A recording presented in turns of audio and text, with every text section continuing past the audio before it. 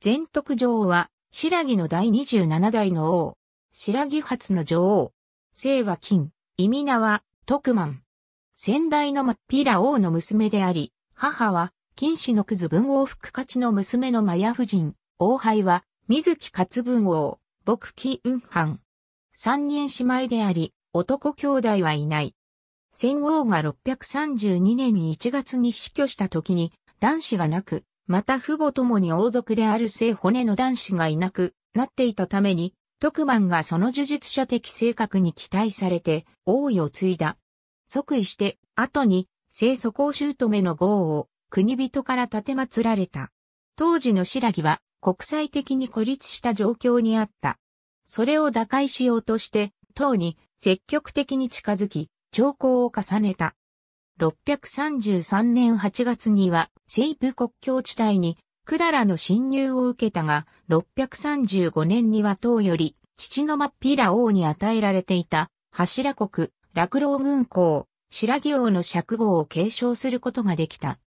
636年5月には百済が毒山城を襲撃しようと潜んでいたところに、共に角星の赤輪と筆丼が派遣され、奇襲を仕掛けて、百済軍を殲滅させることに成功し、将軍梅氏を捕らえた。この後に赤輪を大将軍に任命し、638年に高栗が70条に攻め入った時には赤輪が高栗兵を撃退した。しかし642年7月には百済に西部44条を陥落させられ、同年8月には高栗と百済とが連合して東工場を奪取し、白木の塔への長江の経路が断たれてしまった。同月、百済によって広谷城も陥落させられている。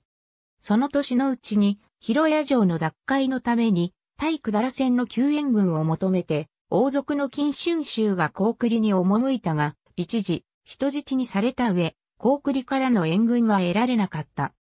643年9月には唐に死者を送って、高栗、百済を撃つ救援軍を求めたが、唐からは援軍を派遣するには女王を廃して、党の王室から新王を立てることを迫られた。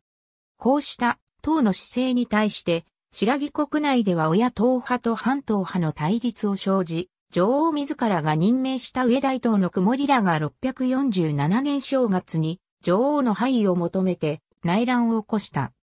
上大統に代表される中央貴族に対抗して、金油神ら地方勢力の有力者が女王を支援して乱の収集に当たったが、同月8日に女王は陣中に没し、全徳と送りなされ、狼山に葬られた。在位16年。その後直ちに、金油神らは、新徳女王を立て、正月17日になって、乱を鎮圧し、雲ら24名を中殺した。死後、唐からは、高禄大部の号を追贈された。慶州市月城公園の先生代、全徳女王は、仏教の保護にも熱心であり、地蔵帽子を党に派遣して仏法を収めさせた。帰国した地蔵帽子の発願で645年3月には、交流寺の旧総統を創建したほか、女王の時代に、薫工事や霊廟寺が完成している。霊廟寺の建立と同時に、先生代を築いたとも伝えられている。また640年には、王族の若者を数多く留学生として唐の国古館に派遣し、唐の文化が白木に流入するきっかけとなったように、白木の文化発展への貢献が知られている。真っ平大台から用いられた建福の年号を在位3年の3月に二兵と改元した。全徳女王の神秘性、聡明さの現れとして三つの余地を行ったことが伝えられている。第一は、唐の体操がボタンの花の絵と種を送ってきたときに、その花には香りがないであろうといったこと。理由を尋ねられて、花の絵には蝶や蜂が描かれていない。どんな美女でもその色化で男たちが群がるので、花に群がる虫がいないことから、香りがないと分かったと答えた。第2は、宮殿の西の玉毛池にガマガエルがたくさん群がって鳴いた時に、西の国境付近に族の潜んでいることを知り、各艦の赤輪と筆丼を派遣して、族を滅ぼさせたこと。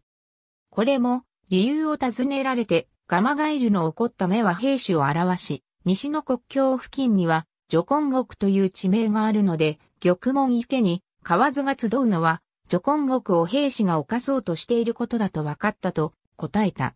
第3は、自分の死の年月を予測して、通り店の中に埋めるように、と言ったこと。軍神は、通り店の場所が分からず尋ねると、狼山の南であると答えた。